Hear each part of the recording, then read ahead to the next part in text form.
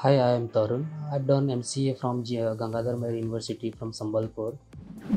Before joining uh, AttainU, that I was a, a lecturer in a private institute, and also that I am uh, from coding background. Initially, uh, I got to know about the AttainU uh, from the Instagram advertisement, and also I thought of taking course from the AttainU. I think uh, the daily live classes with the daily coding challenges and assignment was the most useful uh, in AttainU. From, uh, from placement perspective, that placement experience was quite good.